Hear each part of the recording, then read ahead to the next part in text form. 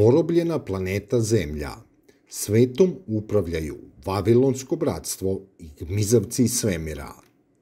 Bivši golman i nekadašnji sportski komentator David Icke više od 20 godina tvrdi da iza svih događaja u ljudskoj istoriji stoje dinastije reptilskog porekla, među kojima su Windsori, Rothschildi, Rockefelleri.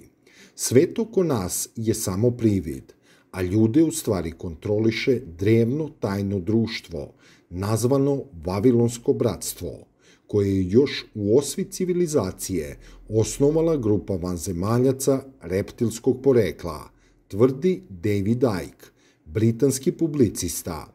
Ovaj bivši golman i nekadašnji sportski komentator sada je jedan od najpopularnijih teoretičara – Već 20 godina on piše o tome kako svetom upravljaju reptilijanci, kojima je cilj da preko globalnih organizacija uspostave novi svetski poredak u kojem bi oni bili gospodari, a ljudi robovi. Nalazimo se na pragu neverovatnih globalnih promena, na raskršću na kojem ćemo morati da donesemo odluke o budućnosti života na zemlji – možemo da razbijemo vrata mentalnih i emocionalnih zatvora u kojima je ljudska vrsta zarobljena hiljadama godina ili možemo dozvoliti agentima tajnih društava da završe svoj plan i pretvore u robove svakog muškarca, svaku ženu i svako dete, uspostave svetsku vladu i čipuju svako biće na planeti.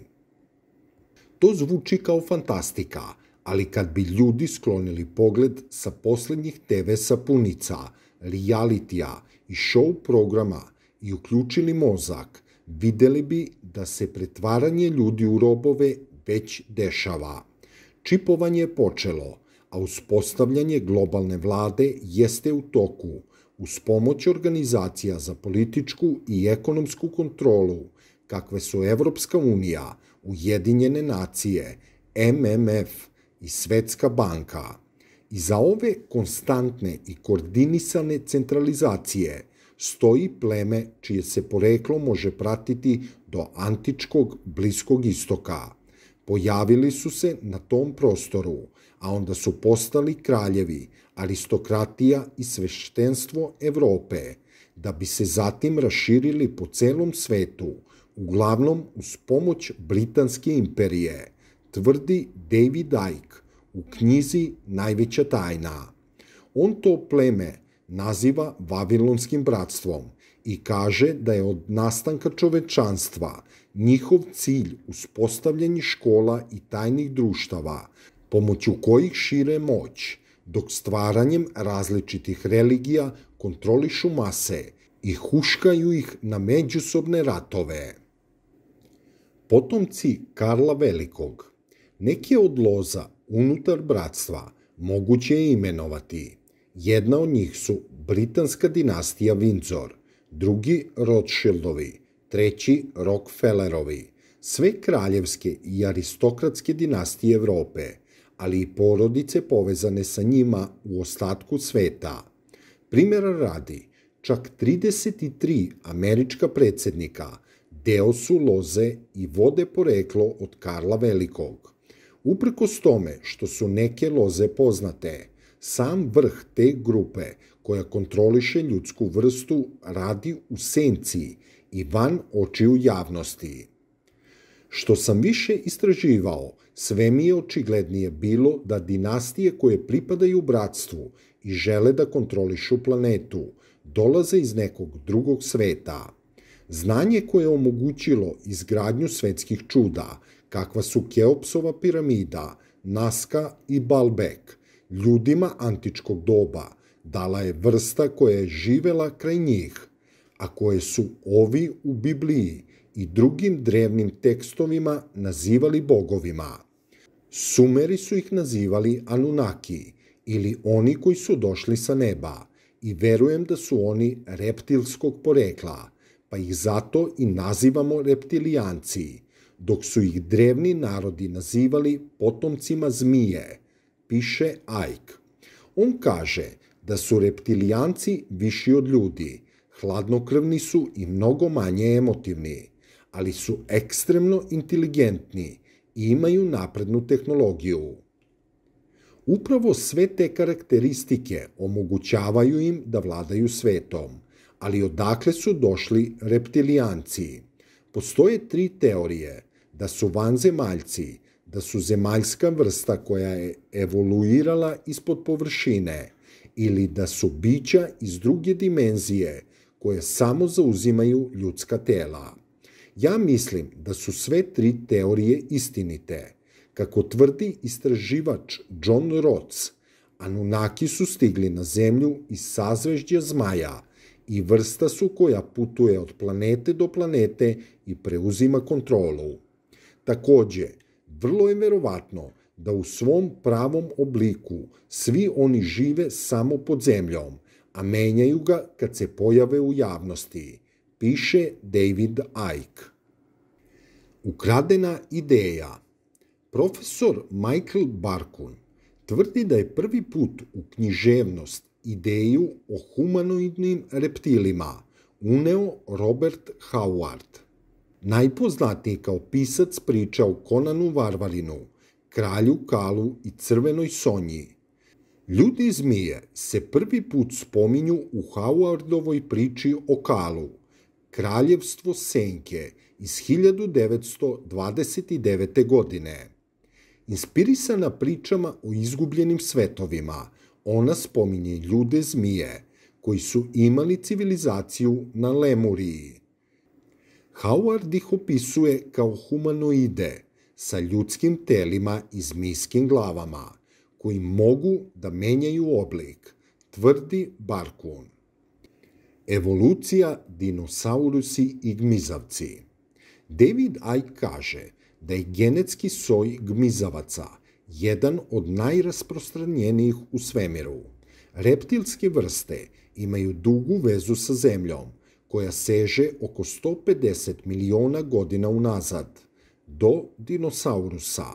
Gmizavci, poput zmija i guštera, samo su jedna forma reptilskog gena. Ako su dinosaurusi mogli da evoluiraju u različite vrste, zar je nemoguće da su mogli da evoluiraju u bića sa dve ruke i dve noge, sposobna da stvore civilizaciju, tvrdi Ike. Povezivanje sazvežđe zmaja, vampiri i reptilijanci, grof Drakula, simbol aristokrata i svemira. David Icke tvrdi da je i jedan od najpopularnijih mitova povezan sa reptilijancima. Glavna grupa reptilijanaca stigla je iz sazvežđa zmaja, na latinskom Draco, odakle vodi poreklo reč drakonski. Oni su surovi, vole da se hrane ljudskom krvlju i upravo su oni inspirisali legende o demonima krvopijama. Vampirske priče su najbolji primer toga, a kako se zove najpoznatiji vampir? Grof Drakula. Titula grofa simbolizuje aristokratske reptilijanske loze, koje imaju moć kontrole nad ljudima, dok je ime Drakula jasna referenca na ime sazvežđa Draco, tvrdi David Icke. Naravno, on zanemaruje da pridev drakonski vodi poreklo od imena atinskog zakonodavca Drakona.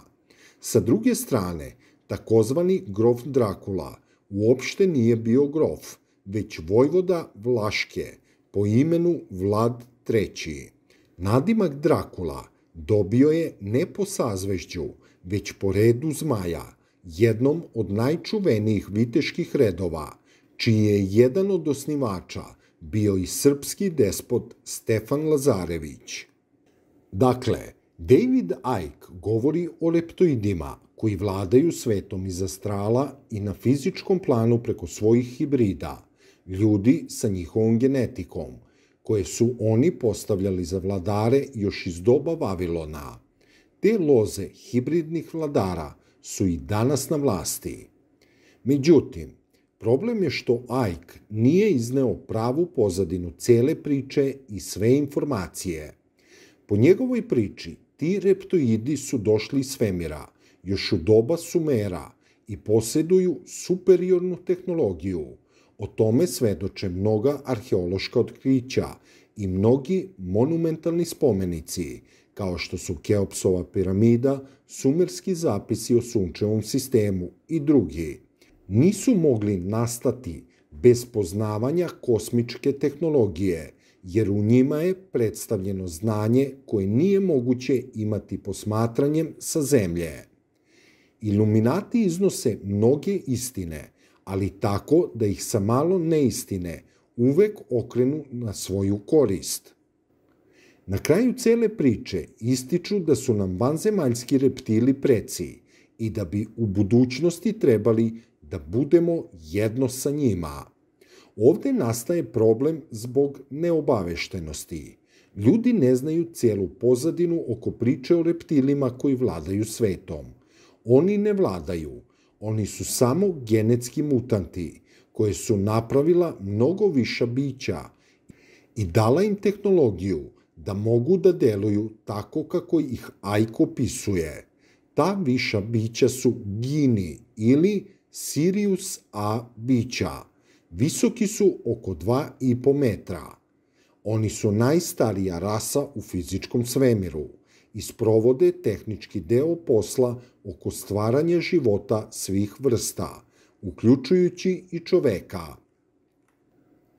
Oni nadziru sve što se događa u ovoj galaksiji i sve žive vrste, i ljudsku i neljudsku, uključujući i reptile. Uzgled budi rečeno, ako je Bog stvorio čoveka, to sigurno nije učinio kao mađioničar David Copperfield. Jednim veličanstvenim puf i evo čoveka. Za to stvaranje su mu bile potrebne ruke nekih majstora i svo znanje o genetici, neko ko će konkretno da obradi sve tehničke detalje čovekovog nastanka. Da je čovek nastao puf stvaranjem, onda ne bi bio podložen prirodnim zakonima. Priča o Siriusima kao kosmičkim majstorima daje odgovor na taj problem.